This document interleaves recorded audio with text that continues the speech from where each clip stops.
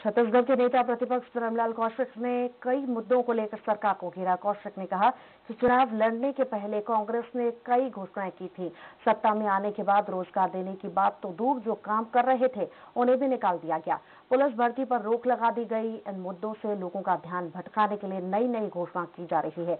कभी रोका छेका तो कभी गौठान के नाम से सामने आते हैं। धर्मलाल कौशिक ने प्रदेश में गौठानों की स्थिति को लेकर सरकार को घेरते हुए कहा कि मुख्यमंत्री जब बिलासपुर गए थे, हाईकोर्ट के पास उनकी गाड़ी रुक गई थी। वहाँ पता चला कि गाय गौठान में नहीं, बल्कि सड़कों पर है। कांग्रेस की सरकार सिर्फ़ बातों में चल रही है। अभी मुख्यमंत्री जी बिलासपुर गए। हाई कोर्ट के पास में उनकी गाड़ी रुक गई। पता लगाया गाड़ी क्यों रुके? तो हमारे सब गौ माता गौठान को छोड़ करके आके सड़क में बैठी हुई है। और आज केवल वहाँ की बात मैं नहीं कर रहा पूरे प्रदेश में आप चले जाओ। गौठान में गौ माता नहीं है, सड़कों पे गौ माता है। शायद उनके गौठान से अच्छा गौ माता को सड़क पसंद है।